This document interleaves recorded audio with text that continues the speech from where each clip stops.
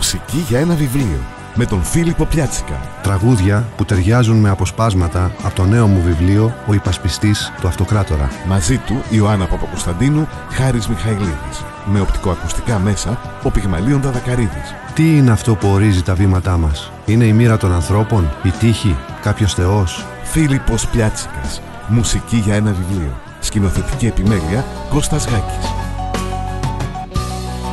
στο Ίδρυμα Μιχάλης Κακογιάννης.